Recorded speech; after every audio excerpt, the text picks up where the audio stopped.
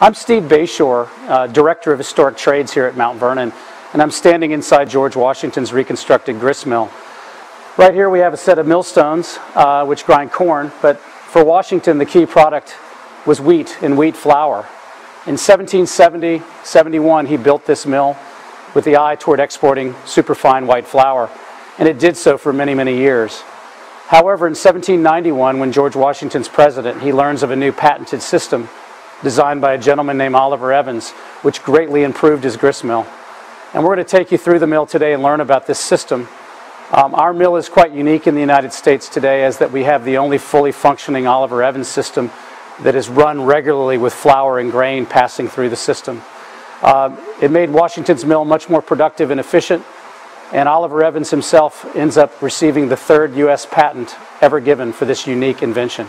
The way patents worked in the 18th century was uh, quite interesting in that there was no official bureaucracy to approve patents. So part of George Washington's job as president was to sign approved patents. And one day an interesting document crossed his desk, which was the document by Oliver Evans for the automated flour milling system. Uh, Washington read it over and realized how ingenious this was and that he needed it at Mount Vernon. And after signing it and passing it on to Thomas Jefferson for his signature, Washington had Tobias Lear, his private secretary, write to Oliver Evans in Philadelphia requesting that Evans come to Mount Vernon to install the system in his mill.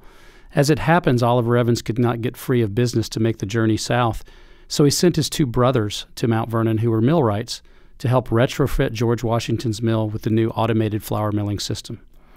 Oliver Evans received his patent. It actually is U.S. patent number three uh, in the line of patents in the early part of our history. And George Washington becomes one of the first men in the early United States to have the newest and finest gristmill innovation.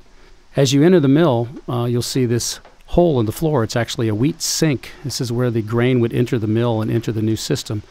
It drops down into a large grain bin below called the garner, and that is fed by a, a chute, which is a gravity chute that feeds right down into bucket elevator number one. Oliver Evans is the inventor of the bucket elevator. This is a continuous belt with little cups on it to transport grain vertically in the mill. Uh, this is a labor saving device, and no longer would grain have to be hoisted or carried upstairs to the next level of the process. So the grain would enter the mill, journey up the water powered elevator, and be dumped into bins on the fourth floor.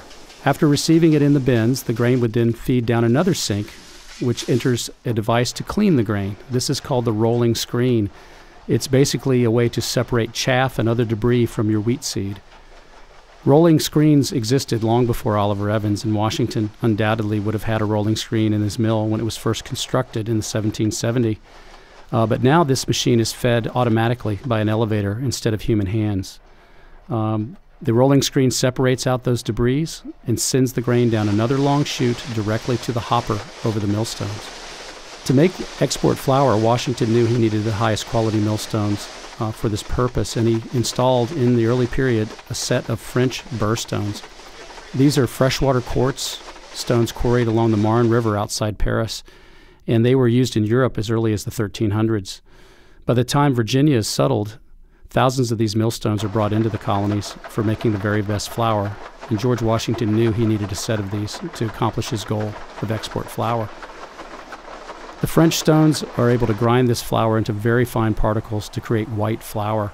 Um, the top stone that's inside this casing rotates, powered by the gearing and the water wheel below. Beneath the upper stone is a stone called the bedstone, which mounts to the floor. It's stationary, it never turns.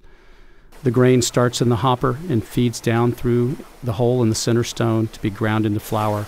And once again, it goes down a chute by gravity, and it's going to enter elevator number two.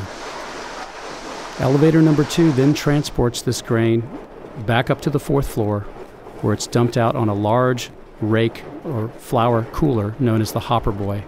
This is another part of the Oliver Evans invention. Flour had to be cooled in order to prepare it for sifting. Uh, during grinding, the meal can get quite warm. If not properly cooled prior to sifting, this flour will have a difficult time making it all the way to market without spoilage.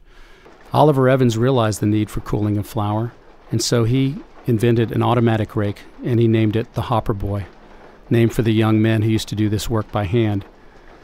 The Hopper Boy will rotate, powered by the water wheel, and it'll spread and cool the flour gradually, moving it from the outer portion of the circle all the way to the center, where it drops down another gravity chute to feed the large sifter known as the bolting chest. Washington's mill would have had a bolting chest in its early period. Bolters were in existence since the 1500s, and George Washington, from the early time, knew he wanted to make export flour, so the bolter was a critical piece of machinery. The bolter is a large reel inside a wooden case that rotates by water power, allowing the flour to sift through silk, known as bolting cloth or silk. This grades the flour into superfine white flour, which was the highest commodity, brought the most value and price. It also makes a fine flour, which we would know today as whole wheat, and it also separates the bran. The bran was not thrown out, it was used to make hardtack biscuit and was sold locally in Alexandria. Right along the river, all the sea captains would purchase, purchase this product and make the hardtack biscuit. So for Washington, the mill produces three products two overseas and one domestically. The bolting chest is a key piece of equipment. With the Oliver Evans system, it is now fed by very cool flour from the hopper boy. And at the bottom of this machine, the flour then drops down to the appropriate barrel, all ready for packaging and shipping. Again, human hands are not needed to accomplish all this work. So for Oliver Evans, from the beginning of the entrance of the wheat into the mill, transported through the cleaning process, through the millstones, up to be cooled, down through the sifter, and finally into a barrel, it completes the process without the human hands touching the grain. A great innovation and worthy of patent number three. Washington would have had to pay $50 as a licensing fee per pair of stones to run the Evans system, and we know from our records that he selected one set of stones in the mill to be on the Evans system. The other set of stones were in domestic use for his own needs, grinding corn to feed the plantation, grinding oats for livestock feed, grinding rye and barley, and particularly in the later years as he builds his whiskey distillery, the mill is critical to that process as well.